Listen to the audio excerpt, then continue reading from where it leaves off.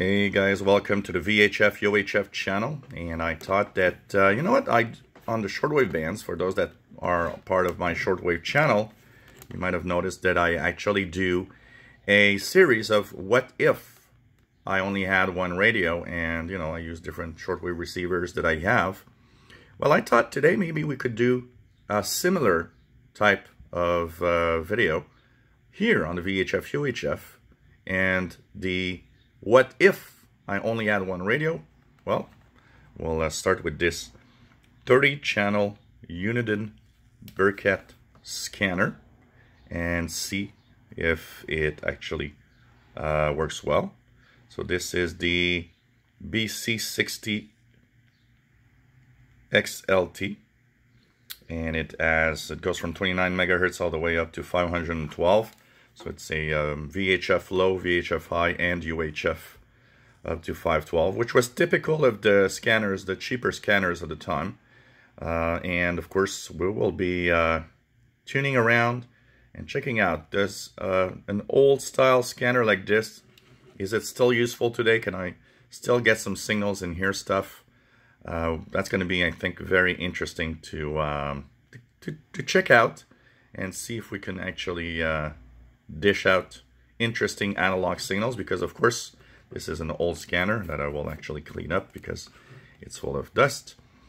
Uh, this is an old analog scanner so no digital stuff in here for sure but there's still some stuff to listen to on the bands and we'll go through and I'll actually fill up these channels with different signals that I'll be actually hearing while I scan the VHF UHF range. So uh, today's uh, there'll, there'll be a series of what if on this uh, VHF channel. And of course it will be what if the only radio I had was this little handheld scanner.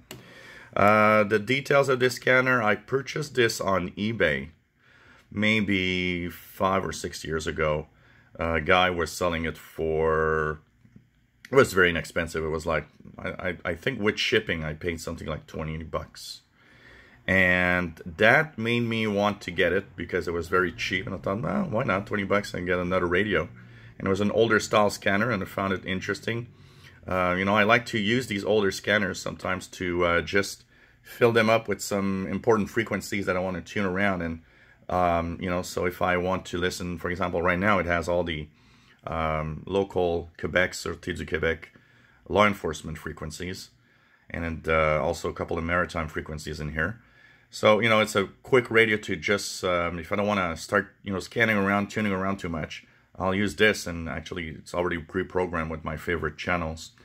So, uh, this is, uh, it was used and it was only $20 because the guy said it didn't work. And uh, finally it did work. It's just that the battery compartment had a loose wire.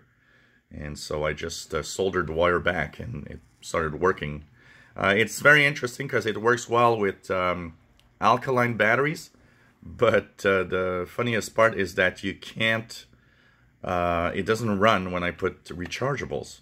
It seems that the rechargeables don't give it enough power to actually run correctly. So today, my what if radio on this channel, this old 30 channel Bearcat scanner. Hope you enjoy the videos that we'll be posting with some of the reception and uh, you know, what I've been, my personal observations basically of using an older scanner to listen today.